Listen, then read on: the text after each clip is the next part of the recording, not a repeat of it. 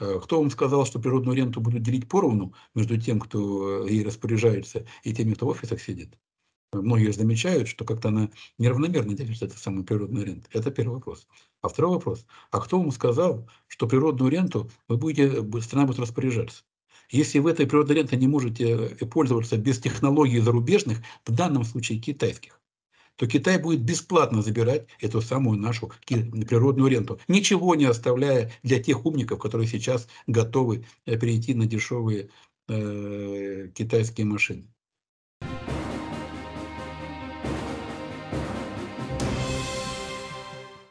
У нас сегодня на связи наш друг, директор Череповецкого литейно-механического завода, вот, э, член Генсовета партии «Дело». Владимир Баглаев, Владимир Николаевич, приветствую вас.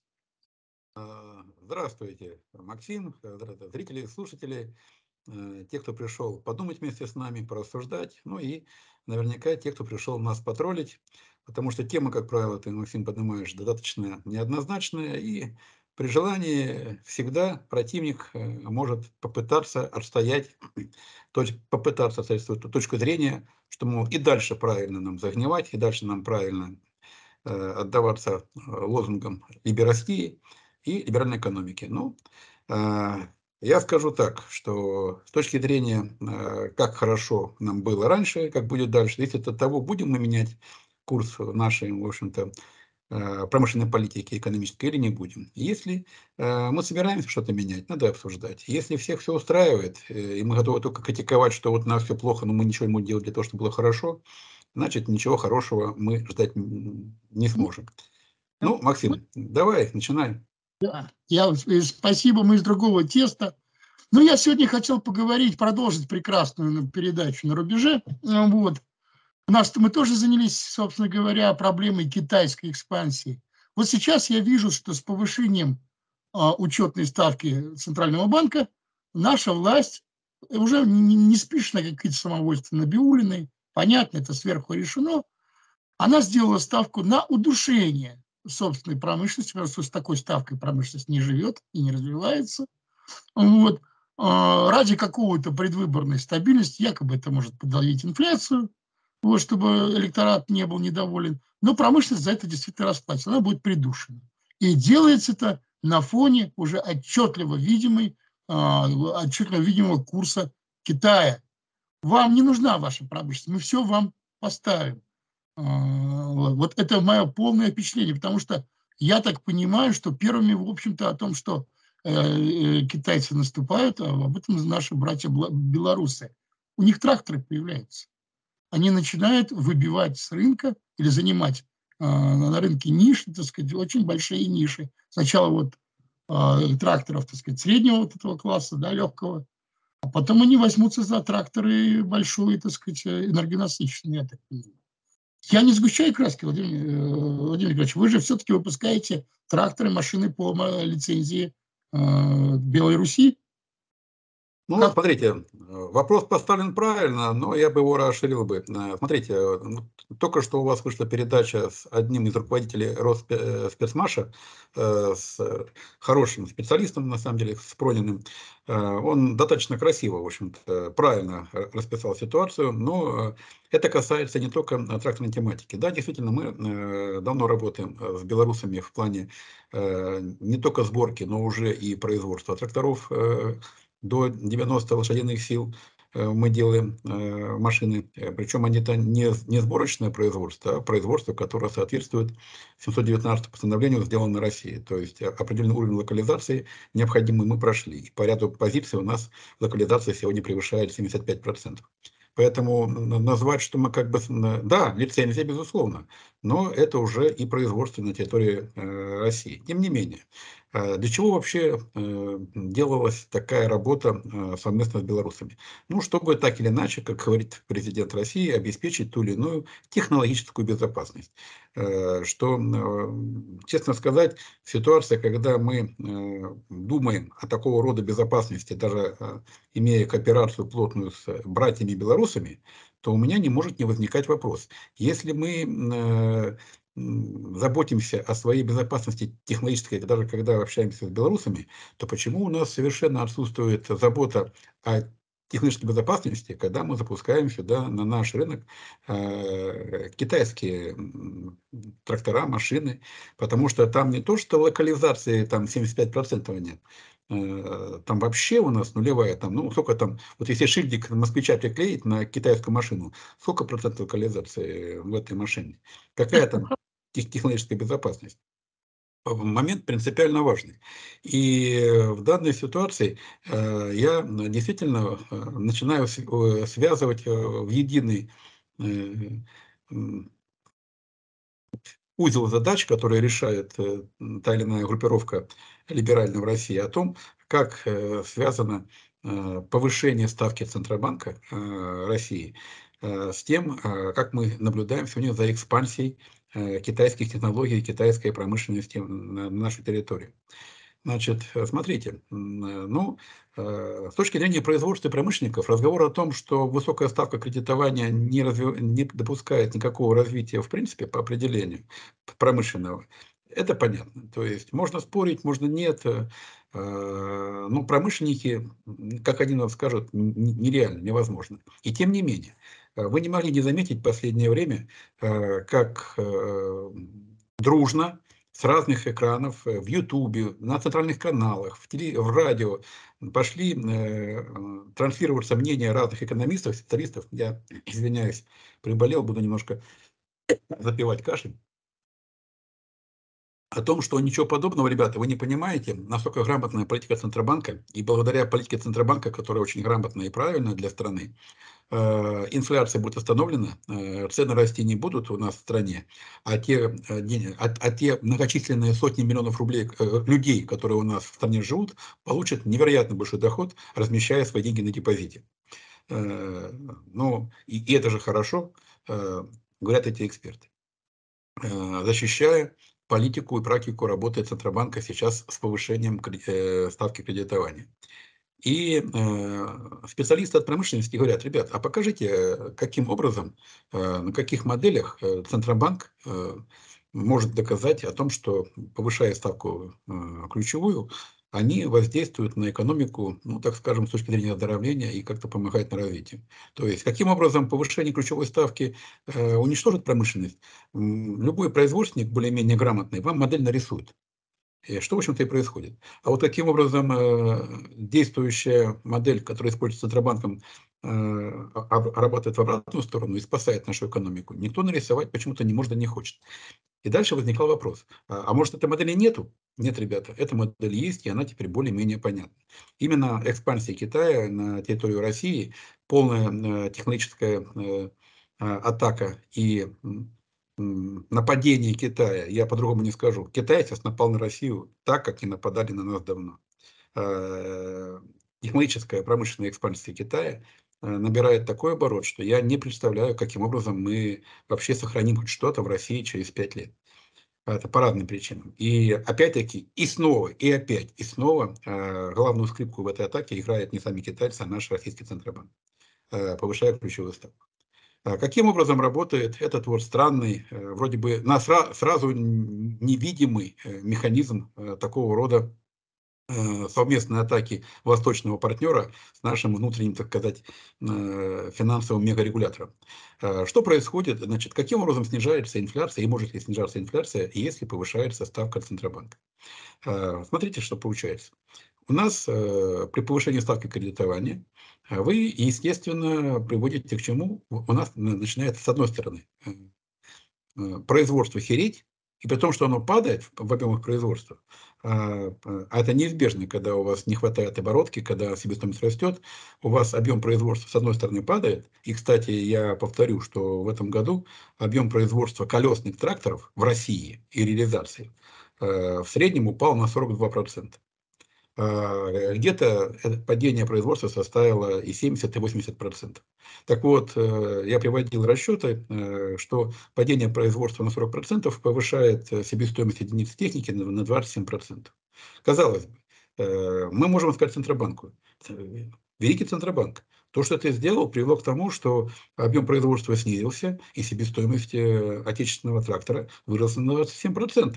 Таким образом, у нас инфляция не упала, а она выросла. А раз у нас выросла себестоимость нашей сельхоз э, э, изделий, то у нас растет все. Себестоимость пшеницы, ну, любого сельхозпроизводства. Соответственно, идет, э, яйца растут в цене. Вот, она, вот откуда все прет. А, на что Центробанк, казалось бы, ему нечего сказать. Но за Центробанк грамотно ответил Владимир Потанин на форуме э, «Россия вперед», который поблагодарил правительство Центробанк за то, что те э, нашли себе волю не рассуждать о развитии в мерах. Он сказал, не ищите в мерах Центробанка ничего, что связано нацелено на развитие. Сейчас главное э, оздоровление э, экономики и стабилизация. Вот этим мы занимаемся. И хорошо, что этим делом занялись. Каким образом работает стабилизация? А очень просто. Таким образом, когда у вас оказывается э, наша продукция дорожает э, на десятки процентов, оборотка у нас выпадает, э, а поддерживать как-то э, работу внутри э, страны надо, вы обязаны э, прибегнуть к чему? Каким яйцам мы сейчас будем э, прибегать? Правильно, мы наш, э, яйца в Россию будут вести э, турки и азербайджанцы. Если раньше за яйцами туда ездили, теперь уже яйца сюда поедут. Понятно, да? Э, теперь э, дело с тракторами и с другими машинами. Э, получается странная ситуация. Э, дело в том, что э, тот момент, когда Центробанк убивает нашу промышленность, и она становится, соответственно, дорогой по себестоимости, открываются двери китайскому производителю по всем направлениям. По всем направлениям. И Пронин правильно отметил, что, и я показывал в расчетах вот сегодня, что э, Китаю совершенно ничего не стоит э, на любой вид продукции, с которой он выходит на рынок, дать цену, вообще не, не, несмотря на себестоимость, в два, в два с половиной раза дешевле, чем любой из наших продуктов России. Не потому, что у них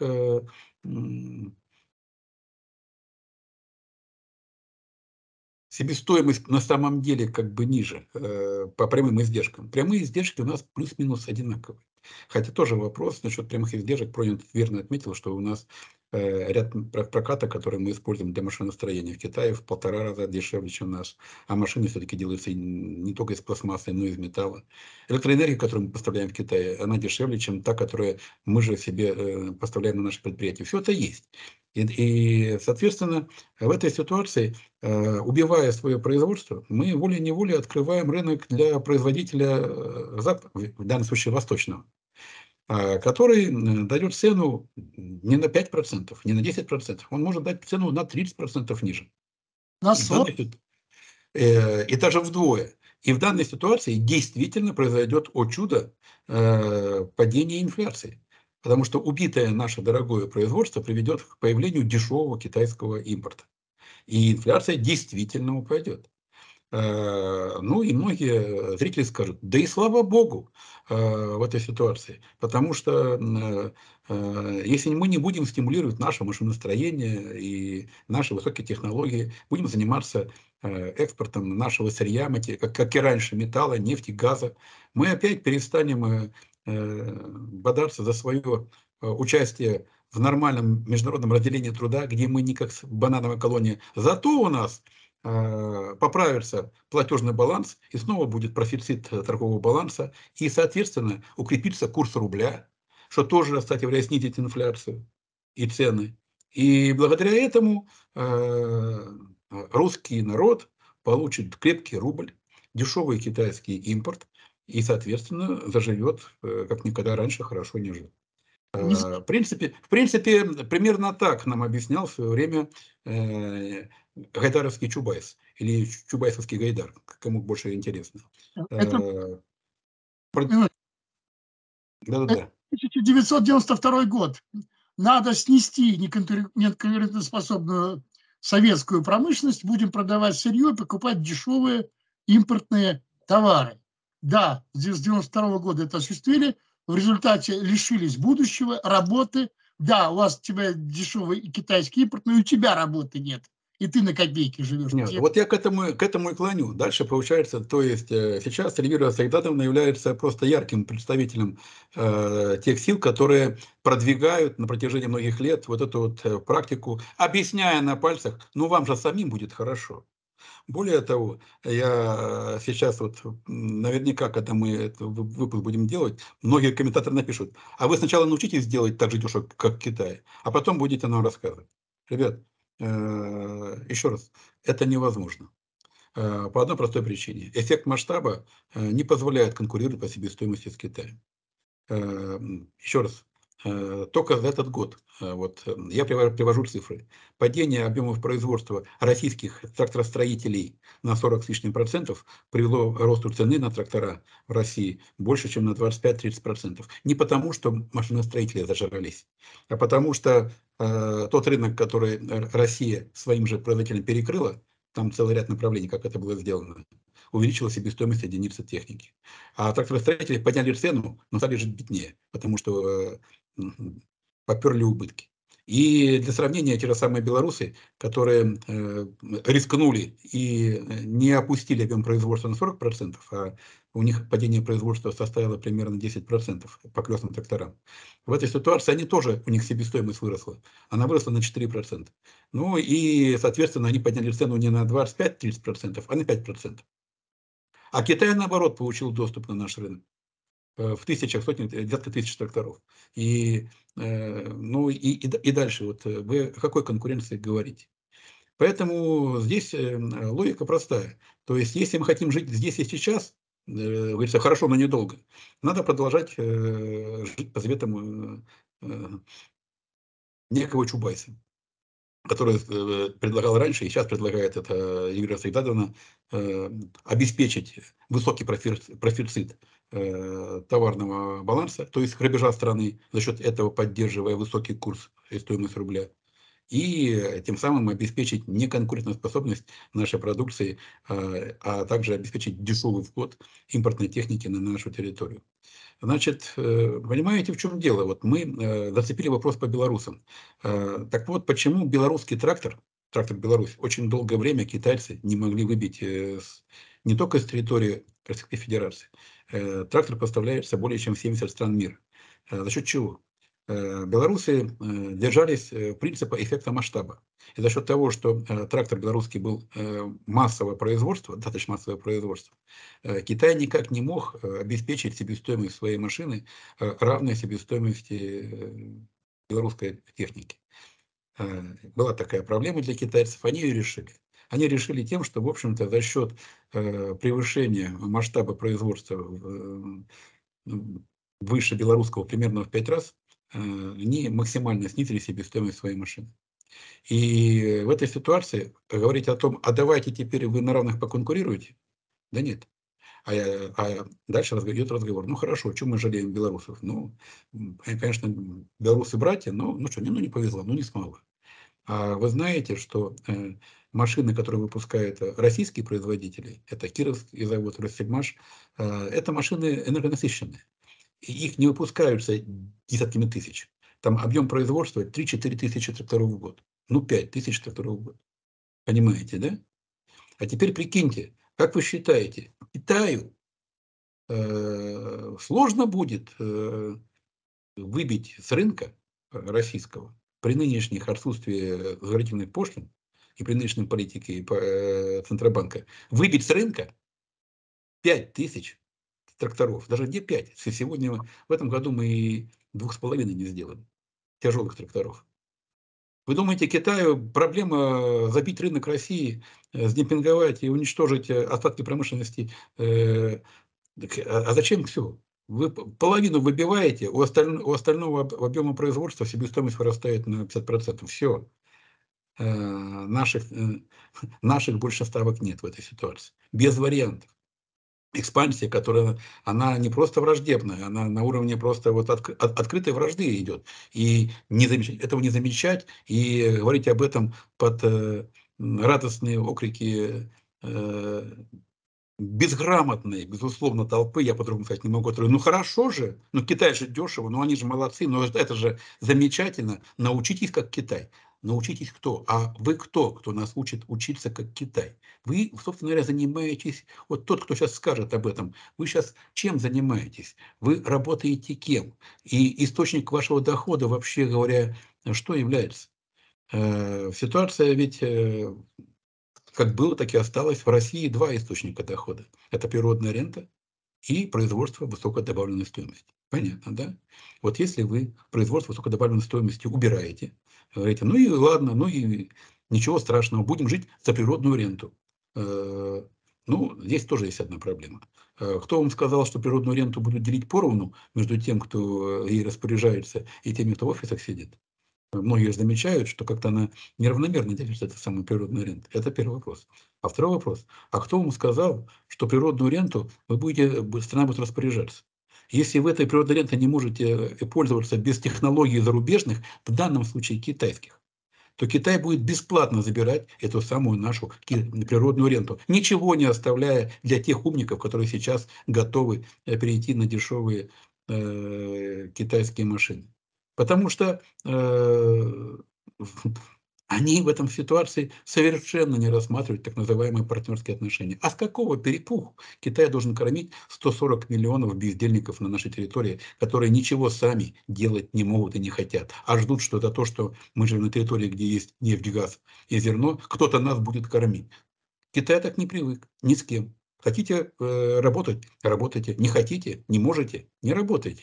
Вы лишние на этом празднике китайской жизни. Э, и призывать их, а как же так, а вы бессовестные. Вы что, ребята, вы, вы серьезно? Вы к китайцам так решили обратиться? Не, Максим, это э, разговор даже не в пользу бедных, это в пользу недоразвитых бедных. Владимир Николаевич, а, позвольте сейчас, э, э, так сказать, немножко другой теме, так сказать, продолжить эту тему. Два замечания. Ну, первое, Потанин – это сырьевой сектор, ему чем меньше своей промышленности, тем больше на внешний рынок будет поставлять, ему это выгодно. Второе, Тем более это... технология будет для него дешевле, его, его будет заставлять брать отечественное, дороговое. Зачем? Он готов перейти на технологии Китая, они дешевле. Себестоимость добычи ему будет дешевле. Для Потанина, населения Российской Федерации, в общем, обуза. У него рынок сбыта там, сырье отдавать туда. Второе, безусловно, нужно менять закон о Центробанке, чтобы он отвечал и за промышленное развитие, и за рабочие места, соответственно. Вот. Это, это, это, это тоже совершенно ясно. Вот. Я тоже, извините, приболел, тоже температура была. Вот, а, ну, ко мне тоже в, э, в, коммен, в комментарии набежали, ну, идиоты, я по-другому сказать не могу. Они говорят, ну, вы же мешаете здоровой конкуренции. Ну, делайте так же, вот, вот как китайцы, дешево. Почему у нас тут, у нас рабочая сила дешевая, сырье свое, прочее, почему мы не можем? И как не объясняем, что а, конкуренция должна, если здоровая, она должна быть равной. Но когда ты на ринг выходишь Э, например, так как боец, так сказать, с голыми руками против тебя выходит человек в доспехах и с кастетом, это неравная конкуренция. У китайцев помимо масштаба производства, что да, у них все больше, больше, больше выпуска, значит, возможность экономить на издержках. У них и, простите, и металл дешевле, у них ставки кредитов гораздо ниже, у них огромная государственная поддержка. Ну, Максим, давай так. Я не склонен э, называть людей там, не очень умными людьми. Почему? Я, я бы назвал бы их неграмотными людьми. Это, это разные вещи. Дураки и неграмотные – это не одно и то же. Э, русские ведь э, не дураки. Просто их за эти годы сделали неграмотными. И это большая проблема. От этой неграмотности на самом деле э, э, появляются странные э, умственные выводы, так скажем, которые со стороны человека грамотного кажется, что имеет дело с недорогим человеком. Ничего подобного. Э, неграмотность, которая э, не только в школах среднего образования, это вот неграмотность, это в том числе и в высших школах по экономике, нашей экономики э, продвигается. То есть в высших школах экономических продвигается такого рода неграмотность. Поэтому такого рода комментарии мы с тобой читаем. Но есть одна э, история любителей э, либеральной э, равной конкуренции. Я, я скажу откровенно, а я против, я против э, равной конкуренции. Если бы мы говорили, если бы Китай в свое время говорил про равную конкуренцию на своем рынке, Китай бы никогда не стал великой страной промышленной, производственной. Никакой равной конкуренции на своей территории с момента становления и развития своей промышленной индустрии Китай не позволял категорически, критически закрывая любой импорт со стороны, который они могли перекрыть. Любыми там, низкокачественным продуктом, дорогим своим китайским им доставляли. Если они могли не брать импорт, они не брали. Технологии, да. Как только технологии позволяли что-то изготовить свое, это они тут же перекрывали. И никакая там э, логика того, что, а как же конкуренция, э, ногами вперед с вами конкуренцией. Потому что э, вопрос, э, а с чем вы хотите конкурировать? И каким образом, напомню, Великобритания стала э, ведущей, сильнейшей державой э, в прошлых веках. Э, именно запрет на своей территории какой-нибудь здоровой конкуренции с внешним миром полностью перекрыла рынок для, внешнего, э, для внешней экспансии у себя по шерсти, потому сейчас и сидит у них там э, глава парламента на мешке шерсти. Это с тех пор, это они понимают, что решение по запрету равной конкуренции на своей территории э, вывела страну в лидеры мирового развития. Запрет равной конкуренции на своей территории. Никакой равной конкуренции. Это все либеральная э, блевотина, которая сейчас за э, мозги населению. Как, как же, мы же были справедливы. Ребята, вот на эту справедливость Россию на, на слабо постоянно и берут. Вы правильно сказали, что сейчас принципиально невозможна равная конкуренция. Вы говорите, у нас свое сырье материалы. У нас свое сырье материалы, извините, позвольте. У нас даже для оборонных предприятий мы никель, медь, олово покупаем э, по э, ценнику из Лондона. Да, мы добываем его у нас, на нашей территории. Наши... Но без э, санкций ценовой Лондона ни один оборонный завод не может купить э, э, никель по хотя бы э, минимальной рентабельности для норильского никеля. Цена э, лондонской биржи является основанием для покупки нашим оборонным предприятиям э, никеля, медиа, олова, алюминия на наших заводах. Это же все знают. Какой наш материал? Мы уже не можем пользоваться нашей природной арендой. Нас уже кто-то лишил права пользоваться нашей природной арендой, которая должна являться источником благосостояния наших людей. И что, это для кого-то является секретом? И вы говорите про равную конкуренцию? А кто сделал так, что в этой равной конкуренции Китай имеет электро... Э, э, нашу русскую э, электроэнергию вдвое дешевле, чем мы, нам, мы продаем у себя на своей территории нашим предприятиям? Кто это сделал? Как так у нас по-другому не получается? Если вы технологически неразвитая страна, а мы такая, более того, нас Китай, Китай подсаживает на эту зависимость технологическую, завтра будет еще хуже. Поэтому, если кто-то думает, э, что каким-то образом сейчас можно потребовать, а потребовать от кого равной конкуренции вы хотите? С кем? Э, я согласен, что на, на ринге выпускают недоученного э, перворазрядника по шахматам против мастера спорта по боксу и ждут. Ну что, конкуренция равна, погнали, посмотрим, как долго он продержится, этот шахматист. Что осталось от промышленности, э, которую 30 лет разваливали? Вы серьезно хотите сделать, чтобы это была равная конкуренция? Даже Белоруссия сегодня, которая по возможности пыталась сохранить эффект масштаба и тем самым не допустить э, резкого роста себестоимости на продукцию, не в состоянии э, бороться с Китаем. Почему? Потому что Белоруссия свой эффект масштаба, рост масштаба, в том числе получала за счет доступа к российскому рынку. Я вам открою тайну. Российский рынок как бы мы ни хвалились, это очень небольшой рынок. У нас всего 140 миллионов. У нас очень маленький рынок сбыта. Э, дело даже не в том, что в Китае полтора ярда живет, и столько же, даже больше в Индии.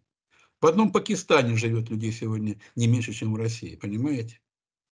И, э, и в этой ситуации и, и, и, говорить о том, что в Пакистане э, такой э, большой э, рынок, и почему же Пакистан не развивается, да все потому, потому что уже мы очень сильно отстали. Но у нас пока еще, пока еще осталось самое главное. Некоторые компетенции, некоторый инженеринг остался. Да, на стариках, да, на людях, которые что-то где-то еще что-то помнят. Но пока еще это есть. И за счет этого еще можно развернуть э, обучение и возврат страны э, э, технически развитый э, клуб, так скажем. Но разговоры о том, научитесь плавать, мы вам воду нальем, ребят, э, еще раз, стран, э, от того, что э, в стране умрет очередной завод, Поверьте, через 15-20 лет эти вот говоруны о том, что не умеете уходить из рынка, они будут зубы на полке искать. Или поедут в другую страну, говорят, ну вот, развалили нам страну, приходится уезжать там, где нормально и хорошо. А мы же такие классные специалисты. Вот тот критик, который это вот такое пишет, э, он кем работает? Ну вот он что закончил? Владимир Николаевич, я тоже считаю, что ну, хватит миндальничать. Надо это очень жестко объяснять, что никакого бреда свободной конкуренции быть не может. Если мы хотим развиваться, нам нужен протекционизм, независимо от форм собственности, это будет государство социалистическое или частное, или смешанное. Нам э, все проходили через стадию протекционизма, в том числе и рыночной капиталистической экономики, что усилится. Если люди поймут хорошо, а не поймут даже бить по башке иногда, пресекать сопротивление, то, чтобы выбирать придется так.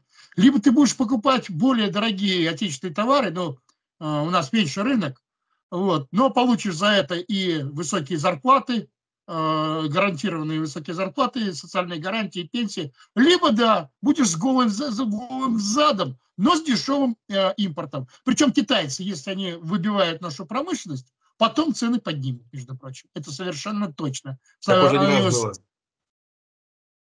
Так уже не раз было. Есть, есть еще одна проблема. Дело в том, что э, почему у нас будет с тобой много противников этой идеи. Э, э, когда начало подниматься производство и промышленность России, за счет обороны, конечно, заказов, и президент правильно сказал, что объем промышленного производства в течение года э, вырос на почти на 8%. Э, значит, получается, что страна в состоянии э, обеспечить рост промышленного производства, в обрабатывающей промышленности.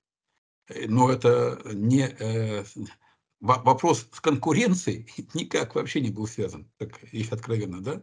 Просто профинансировали соответствующий рост. И мы можем точно так же профинансировать, страна может, рост не только в оборонной промышленности, она может профинансировать рост танкостроение, тракторостроение, авиастроение. Она может профинансировать, но не лезть туда с этими либеральными догмами э, по, про конкуренцию и так дальше.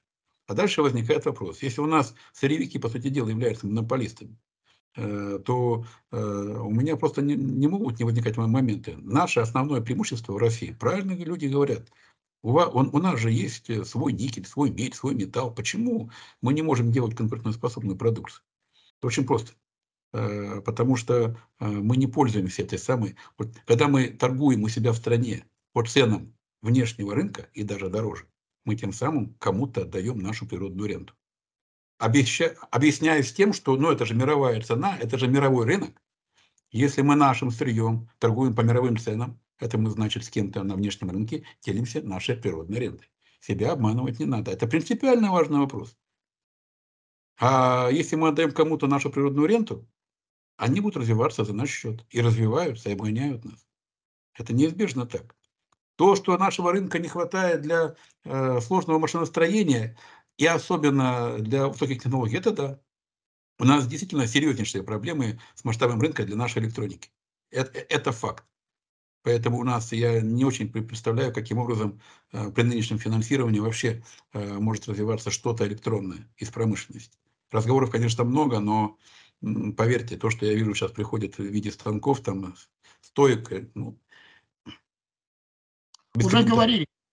Владимир Николаевич, вы извините меня за некоторую резкость, я все-таки такой великодержавный националист, когда я вижу вторую серию того же маразма, да, как с начала 90-х, свободная конкуренция, ваша промышленность не конкурентоспособна, дешевле купить, у меня рука тянется, конечно, к прикладу.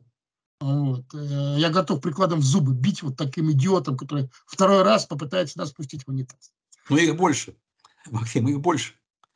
Ну, э, не знаю. В результате лучше, конечно, сплачиваться сейчас в промышленной ассоциации, вроде с Роспецмаша, вот, и отстаивать свои интересы. Пусть их даже больше. Мы должны быть качественными. Ну, ну давай так. Если мы говорим про Роспецмаш, вот э, я же много ассоциаций знаю серьезных, да? Вот на мой взгляд, такой боевой и сплоченный, э, как э, ассоциация Роспецмаша, я больше не знаю. Те, которые на научной основе, собирая статистику по импорту, по экспорту, обрабатывая ее, внося предложения в правительство, я больше таких ассоциаций не знаю. Все остальное, это, ну, да. мягко скажем, близко не стоит. Спасибо буржую Бабкину, да, Он ну, ну, э, наверное, в этой ситуации, э, безусловно, так, но ведь э, это единственная, вот, на мой взгляд, рабочая ассоциация. Все остальное это, ну, мягко скажем, плач. Вот собираются люди, говорят, ну что, ну, ну плохо, ну да. Иногда на ассоциацию там тем же нефтехимического машиностроения, ну, приходит какой-нибудь представитель с министерства. Что у вас не так? Да вот так не так. Ну, блин, ну, ну тяжело, ну что? Ну, ну, ну, думайте как, а чем вам помочь? Ничем не можем. Э, не можете с Китаем рано конкурировать? Ну, как говорится, долой с рынка. Э, я утрирую, но не сильно.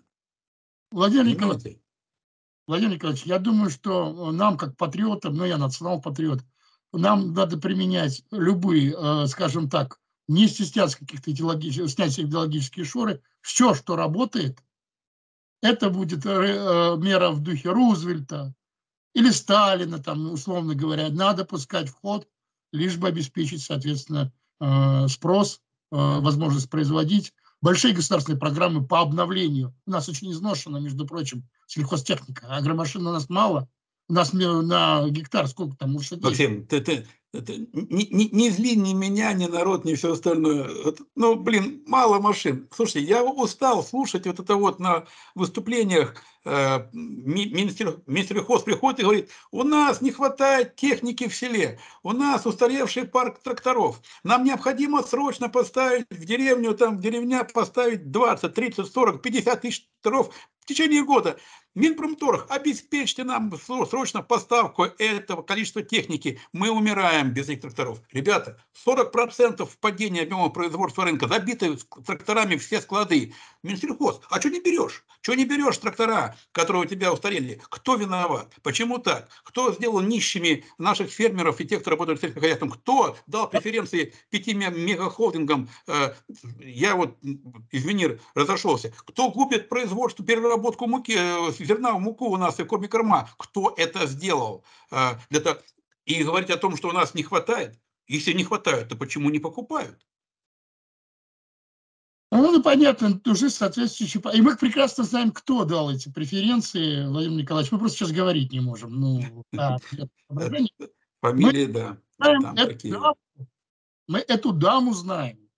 И даже знаем, где она работает. Вот. И кого, и чьи интересы она лоббирует. Вот. Владимир Николаевич, ну вы затронули вопрос, да, вот вы показали э, успехи военного, ну сейчас война, это понятно.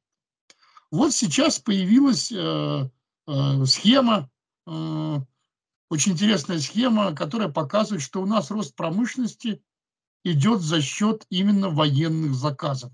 Если э, мирные, то есть гражданские отрасли стагнируют или даже падают, вот как с тракторами, то у нас идет рост выпуска, естественно, там, артиллерии, снарядов, прочей военных, так сказать, э, военной техники и прочее, прочее. Вот график это здорово-здорово показывает.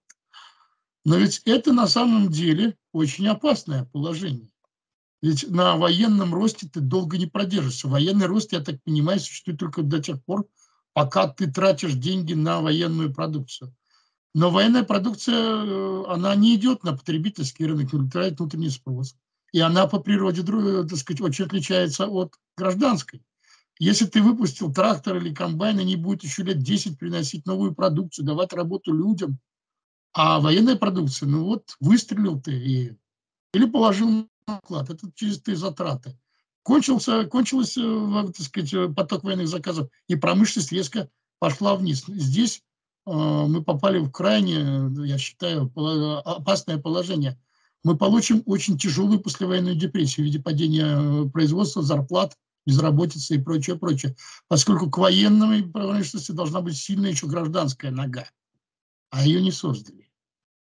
Э, ну вот так я смотрю на этот график. А вы, Владимир Николаевич? Ну, смотрите, я еще лет 20 назад писал расширенные статьи о том, что, ребят, э, кто-то не понимает. Мы когда всегда хвалили, что у нас высококачественное и дешевое оружие советской армии, да? И я объяснял, что если умирает гражданская промышленность, технологии, то у нас, э, первое, у нас не будет дешевого вооружения в стране, потому что эффект масштаба работает. И второе, у нас, в принципе, технологии, э, которые должны быть э, современными, современными не будут. Потому что если у вас э, не поставлена работа с детскими южескими спортивными школами, там кожаный мяч, золотая шайба, олимпийские чемпионы не рождаются. Это так или иначе эта цепочка прерывается по разным причинам. И э, я объяснял, что вот когда, допустим, уничтожались предприятия э, дизельные по производству двигателей, на которых в свое время ходили белорусские белазы, да, на Урале, Коломне, там, э, все это было уничтожалось, я, я пытался объяснить, что э, двигатель Каменс или Дойц – это не только двигатель для э, грузовой машины, понимаете, да? Это двигатель для танка в том числе, для БМП, что если у вас нет своего судостроения, то это там э, технологии не только для гражданского судостроения, оно же и оборонное судостроение, понимаете? Те же самые генераторы, э, это без конца можно говорить. И э, если э, вы гражданку эту уби убиваете, то вы, безусловно, теряете две вещи. У вас пропадают неизбежно э, кадры, технологии и растет себестоимость.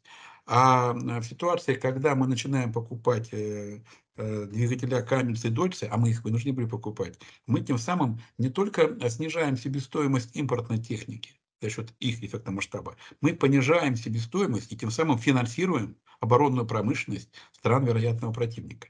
Вот сегодня, как ни странно, когда мы покупаем э, китайский импорт, тоже все трактора, мы, мы всей страной финансируем оборонную промышленность Китая. Понимаете почему, да? Э, дальше возникает вопрос. Вы правильно сказали, что будет, произойдет, когда э, специальная военная операция закончится. Но она должна закончиться, и мы все этого хотим. Э, и я верю в победу в данной ситуации, безусловно. Как бы там кому по этому поводу кто-то не думал, с той или другой стороны, что по ту сторону границы, что по этой у нас всегда хватает умников. Я считаю, что в данной ситуации Сначала надо победить, потом разбираться. А, а разбираться, потом победить, нет. Опять обманут, как, как обычно происходит. Только так. Э, и, э, тем не менее, э, что произойдет, если вот оборонка, как говорится, закончится? А где у нас оборонка? Ведь по большому счету оборонные заказы так или иначе все равно происходят на предприятиях, которые, в общем-то, имеют возможности, делают гражданский продукт. Ну, в 95 случаях процентов. Вся проблема в том, каким образом не допустить падения производства на этих предприятиях дальше и развивать гражданское настроение. И мы опять возвращаемся, э, Максим, к началу. То есть себестоимость и цена, и производство на этих заводах будет высокая и неконкурентная с тем же Китаем, который мы сейчас два года э, всей страной финансируем, их оборонку, их промышленность. Понятно, да? Но если мы оборонку можем защищать в том плане, что, ребят, у нас есть э, определенные правила, по которым проводятся оборонзаказы, поэтому вот здесь никакой равной конкуренции быть не может. Или наша, или никакое. Да? Но в крайнем случае, если, ну, понятно, иногда приходится. Но прежде всего наша. И дальше э, конкуренцию на выброс. То есть э, мы же каким-то образом при высоких ключевых ставках, при всех этих моментах, у нас же объем производства промышленности на 7% с лишним, почти 8% вырос, обрабатывающий вырос, значит, у нас может расти обрабатывающая промышленность темпами 8%. Ты правильно говоришь, Максим, что снаряд улетел и, и все, и пропал. Но если будет расти темпами 8% обрабатывающая промышленность, связанная с гражданскими э, нуждами, то у нас э, увеличивается объем предложения товаров на рынке, и тем самым э, снижается э, инфляция в стране. То есть в данной ситуации мы должны найти вариант, которым защитить наш рынок не традиционными методами ВТО, не методичками МВФ, а перекрыть рынок для тех, кто мешает, помешает нашей обрабатывающей промышленности, да, сегодня отстающей, да, сегодня, ну, она не за день отстала. Ее 30 лет к этому приводили, уничтожая, э, забирая финансы. Надо вернуть то, что у нее забрали. А как по-другому?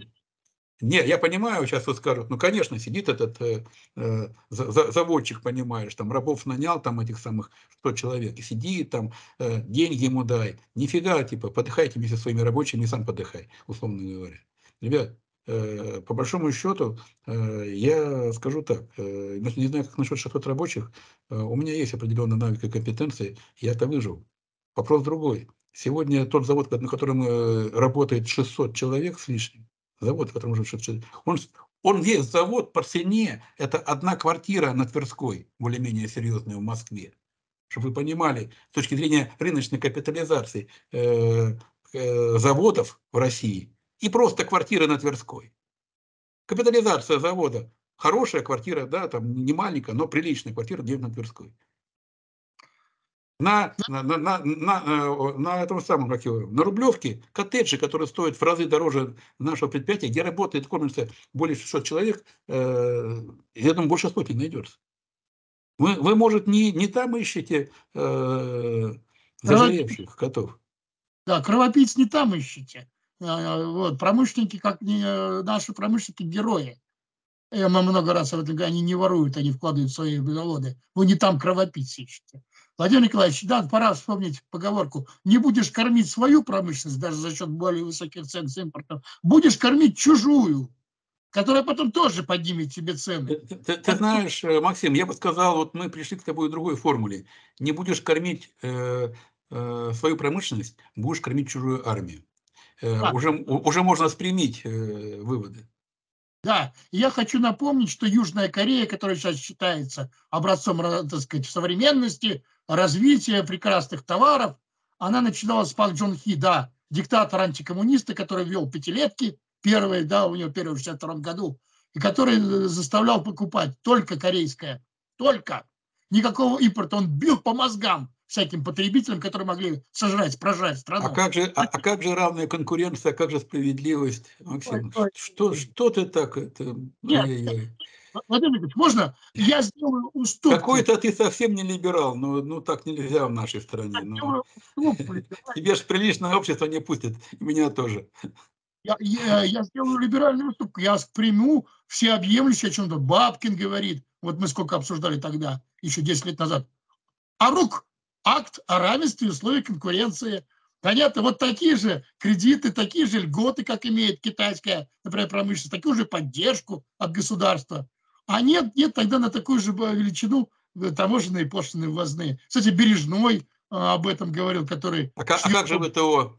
ВТО не позволяет на пошлины вводить. А меня, меня не волнует ВТО после того, что с нами они сделали. Так что, так сказать, вперед отряды, так сказать, красногвардейцев или там штурмовиков индустриализации. Мы нужно, нам нужно поднимать страну. Но, Владимир Николаевич, в заключение. Ну, у нас очень, э, получается, э, ситуация очень-очень плохая, напряженная. Фактически ворота Китая... Нет, нет, нет, Максим, я против слова «плохая». Ты правильно сказал, напряженная. Я на да. заводе это слово называю, когда полная задница, я говорю, ситуация рабочая. Да, напряженная ситуация. Но вот сейчас подумать. Э, понятно, что сейчас наше э, Верховное, так сказать, управление сделало выбор именно в пользу там Потаниных, Набиулиных. Может быть, э, попробовать наших, вот, так сказать, все-таки Александра Григорьевича каким-то образом подвигнуть, ну, как отталкиваясь от того, что идет уничтожение, естественно, так сказать, для меня Беларусь не чужая страна, а часть моей большой страны, идет уничтожение целой отрасли в Беларуси, все-таки попробовать его использовать как лоббиста, толкача этого вопроса. Ну, давайте откровенно. С точки зрения белору, белорусов, значит, э, опасность китайской экспансии с точки зрения э, полностью завоевания э, территории России за счет технической удавки, белорусы обозначали для россиян, на моей памяти, еще лет 15 назад. И одним, когда вступали в ВТО, определенные меры на союзном таможенном пространстве, которые в первую очередь были направлены на защиту от китайской экспансии, именно э, согласовывались на союзном пространстве, но предложение под это дело, э, как правило, э, пробивала и готовила белорусская сторона. То есть риски этой экспансии на российский рынок, она, да, в общем-то, иллюзий по этому поводу не было. Поэтому рассказывать белорусам о том, что давайте вы подумайте, вот по этому поводу, вот у кого у кого, у белорусов нет никаких иллюзий, и с этими предложениями они уже Э, в разных приемных российских толкаются уже лет 15. Только при, только при мне, и наверняка и, и до этого были разговоры. Это один момент.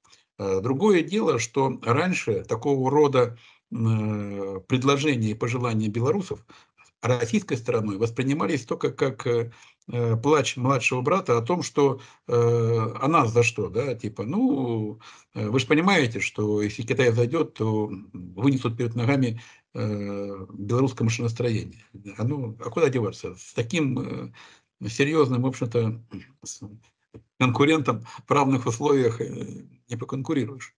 Но сейчас другая ситуация. Дело в том, что у России э, сейчас период, когда вопрос о том, выживет ли белорусская промышленность в конкуренции с китайской, э, это уже не вопрос для российской стороны. Э, вопрос для России стоит в том, а останется хоть что-то в России после конкуренции с китайской промышленностью, и хоть какая-то технологическая независимость хоть в чем-то останется. Когда мы говорим про оборонное предприятие, ребята, через пять лет на наших оборонных предприятиях не будет ни одного отечественного станка, все будут китайские. И говорить об, о, том, что э, без комментариев, вот даже не хочу комментировать. И, и, и что дальше? И мне скажут, ну как же, у нас начинают появляться советские, э, наши российские станки. То, что российское сейчас худо-бедно работает, я так скажу аккуратно, не совсем российская. Хотя там стоит сделано в России. Да, я согласен. И, и, и, и хоть что-то есть, слава богу, надо потихоньку этим делом заниматься. Потихоньку, потихоньку. Но, учитывая потребность э, в оборудовании, э, неизбежно сейчас э, наши э, предприятия, и оборудование в первую очередь, заполняются китай, китайским оборудованием. А куда деваться? И в данной ситуации я не, не, не за то, чтобы перекрыть, допустим, поставки оборудования технологического из Китая. Ну а что делать, если у нас своего нет? Но то, что мы можем делать сами, это спецтехника, трактора, э, комбайны, э, самосвалы. Это вот кровь из носа, как бы ни было тяжело, надо делать самим. Да, в Китае дешевле, может даже уже и лучше, но надо делать самим. Дорого, значит дорого, иначе никогда ничего своего не появится. И то, что было, будет умирать. А потом потихоньку э, идти дальше.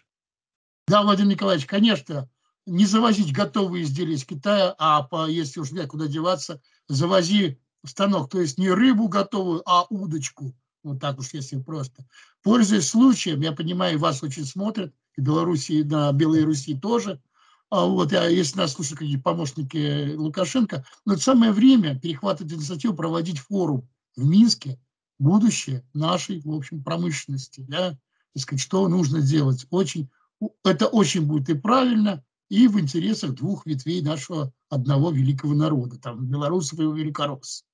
Вот. Да, Владимир ну, Николаевич... Я, я, я знаю, что вот буквально на днях э, председатель Росперсмаша Константин Бабкин посетил Беларусь и встречался с высшим руководством страны, и с предприятиями встречался, и я пока, не знаю, э, до чего э, смогли договориться, но я так думаю, что что касается рисков для производственных и промышленников обоих стран, э, в общем-то, обозначено достаточно много, и все их понимают, и в Беларуси.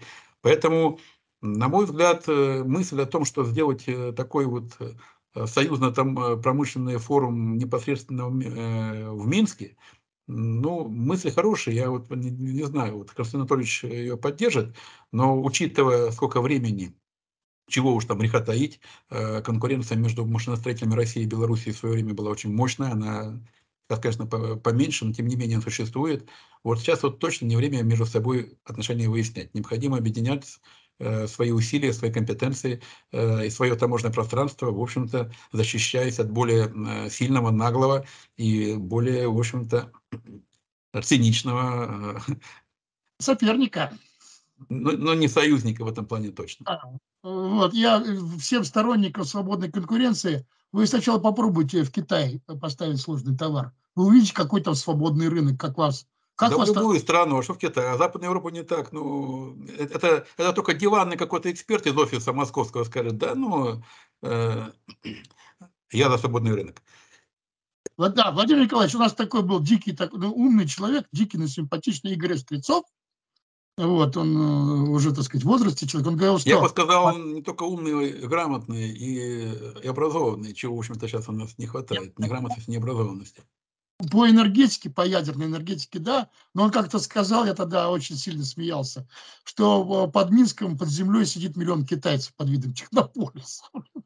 Не, ну насчет миллиона китайцев он, наверное, все-таки э, немножко пережал. Но с другой стороны, э, то, что под Минском есть так называемый технопарк э, китайский, Великий Камень, да, это есть. И одно время меня тоже удивляло, что количество вывесок э, по дорогам на китайском языке и в аэропортах, ну, как бы многовато, да. Э, я тоже замечаю. Но я думаю, что разговор про миллион все-таки несколько преувеличен.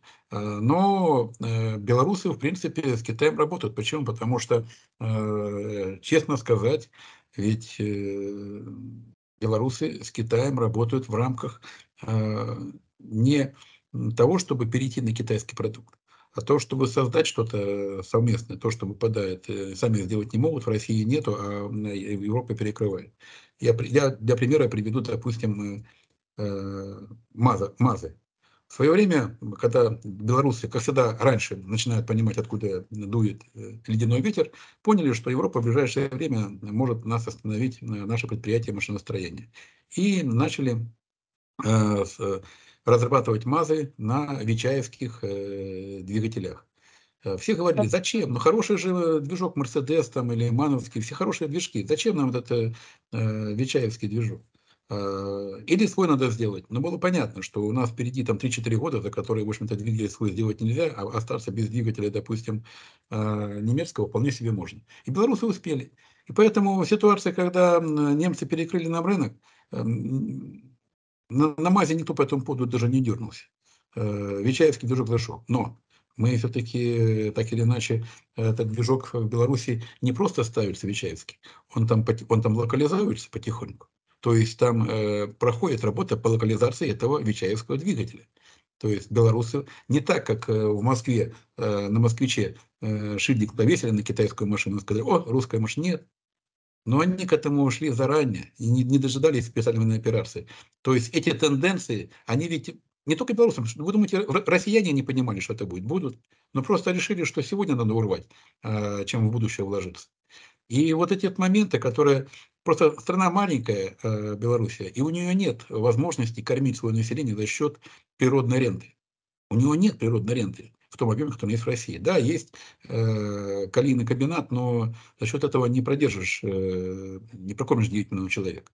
Поэтому единственным источником э, существования страны это идет создание и э, распределение более-менее справедливо э, произведенной добавленной стоимости, а это машиностроение, другого ничего не дано для Беларуси. Поэтому просто взять китайский двигатель они не могут. Они так или иначе участвуют в совместном производстве этого китайского двигателя. И, и так во всем. Трансмиссии, мосты, двигатели. Но и поэтому МАЗ, МАЗ, белорусский МАЗ, э, если вы посмотрите уровень локализации с точки зрения России, то МАЗ э, процентов на 50 более российская машина, чем как КАМАЗ.